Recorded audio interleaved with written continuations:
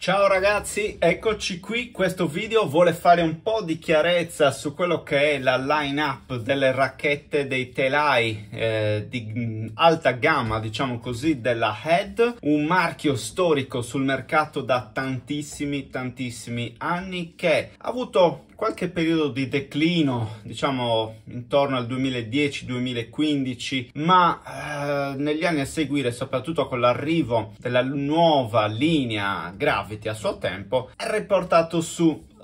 il marchio e tanto è vero che proprio la Gravity l'abbiamo vista adottare da diversi pro, uh, uno su tutti Zverev piuttosto che Rublev e questo ha fatto sì che nel, nel frattempo anche altri marchi abbiano sub- altri telai, altri modelli abbiano subito un revamp che comunque ha portato su nuovamente il brand che oggi se la contende con Wilson fondamentalmente per uh, quelli che sono il numero di giocatori principali nel circuito ATP e WTA dove il numero uno del mondo ormai da tempo è, è di casa Ed, tra Novak Djokovic e Yannick Sinner. Il sunto di oggi l'abbiamo capito, andiamo a fare un po' di ordine e chiarezza nei modelli Head, perché alcuni di voi mi hanno chiesto eh, proprio questo, è una giungla Head tra quelli, eh, i marchi che producono racchette da tennis che sono più, passatemi in termine, disordinati, ma non tanto per il numero di linee di racchette, che anche questo è un fattore, ma anche per il fatto che hanno un grado di differenziazione molto alto. Da questo prendo spunto per parlarvi di questa Radical. Ma prima di andare avanti mi raccomando, metti un bel mi piace, iscriviti al canale, sostieni la community, trovi tutti i link qui sotto in descrizione. Perché vi parlo di questa Radical e la uso come un esempio? Perché è una Radical Tour e voi direte ma la Radical Tour non esiste, esiste solo la MP e la Pro. Bene, Head ne ha fatto una versione particolare perché Head ha un livello di customizzazione delle proprie linee molto molto elevato. A seconda dei mercati crea delle racchette e dei modelli di racchetta diversi. Ringrazio Tennis Warehouse Europe per avermela fatta provare. È una Radical che si chiama Tour che eh, ha 305 grammi. Piatto corde sempre 98 con schema 18x20 come potete vedere è uno schema molto molto molto denso e vi posso garantire che questa Radical Radical è molto più esigente della Radical MP, solo 5 grammi, ma uno schema corde 18x20 la rende veramente tosta. Chiaramente questa Radical è per giocatori che in qualche modo, anche dal punto di vista del peso, non si possono permettere una Radical Pro da 3,15 che rimane molto più esigente eh, per la sua massa superiore, però devo dirvi che non si percepisce tanto questa differenza avendole provate entrambe per il fatto che il piatto 16-19, lo schema 16-19 più aperto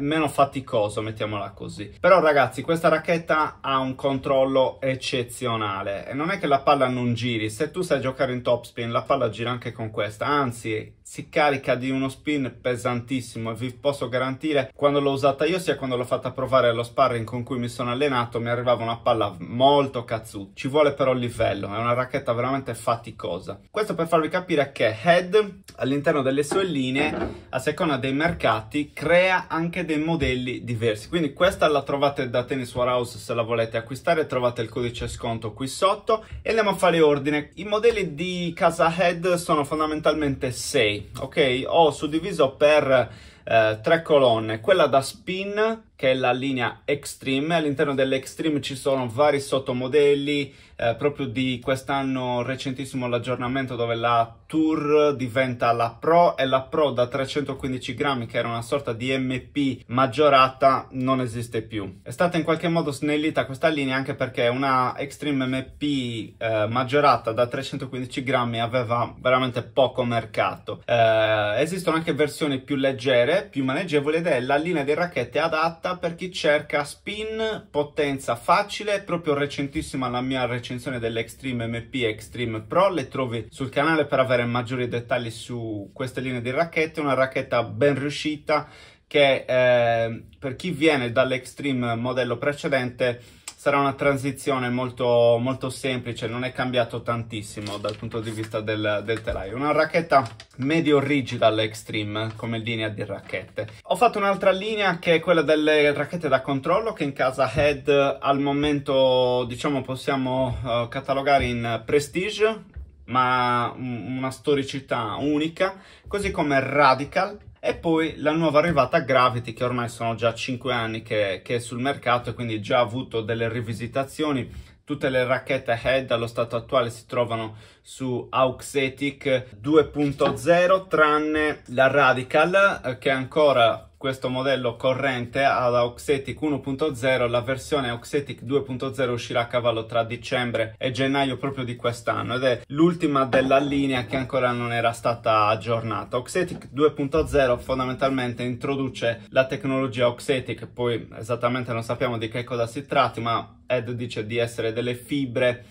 che si muovono a seconda della direzione dell'impatto e della racchetta, sia nel manico sia nel cuore, per maggiore connessione sulla palla, maggiore stabilità. Gravity Radical Prestige, linee da controllo, per tutte e tre le linee di racchette ci sono veramente tanti modelli di diverso peso ed eventuale schema corde diverso, uh, mediamente sono racchette agonistiche tecniche non adatte a tutti, eh, non le contraddistinguono diciamo la facilità d'uso, l'uscita di palla, eh, sicuramente sono telai che si adattano a dei giocatori magari vecchio stile, con gioco prevalentemente classico eh, o che sono abituati e vengono da telai molto più pesanti di quando giocavano a tennis da, da ragazzi, ecco, mettiamola così, li contraddistingue, ecco, uh, da questo punto di vista. La terza linea che ho creato è quella delle ibride, uh, che racchiude la Speed e la Boom, che sono due linee di racchette per certi aspetti similari, per altri insomma. Uh, la Speed è una tutofare, è una racchetta abbastanza cicciotta ma di profilo costante, piatto 100, eh, ci sono alcune versioni diciamo in termini di peso e di schema corde, sulla Boom invece lo schema corde rimane sempre uguale ma abbiamo diverse versioni di, di peso, è una racchetta alla Boom che a differenza della Speed favorisce un po' di più lo spin, è una racchetta che vuole emulare le sensazioni di bassa flessibilità a facilità d'uso e potenza controllata, tra virgolette. Un, secondo me in casa Head è l'ibrida per eccellenza in questo stato attuale perché la speed eh, definiamola ibrida però è pur sempre una racchetta da controllo che favorisce colpi piatti o semi-top, ma comunque un pochino più facile da utilizzare e quindi questa è la, è la cosa. Diciamo che a differenza degli altri marchi, Head, pur avendo tre linee principali, diciamo controllo, spin, ibride, chiamiamolo così, all'interno ha tanti modelli e sottomodelli. Uh, in un altro video vi parlerò di Wilson, faremo lo stesso anche con Babolat e Yonex. Babolat e Yonex, come vedremo, sono decisamente più semplici nella loro gestione perché hanno solo tre modelli controllo, spin e potenza, sia Babolat che Yonex. Wilson in realtà invece eh, ha superato Head nel numero di linee presenti, inizia a diventare un pochino tortuoso muoversi anche all'interno di di quella struttura ma ne parleremo in un video nelle prossime settimane. Intanto ditemi se questo video vi è stato utile e ditemi qui sotto nei commenti se volete che andiamo avanti anche con gli altri tre principali marchi. Mi raccomando iscriviti al canale, metti un bel mi piace e al prossimo video.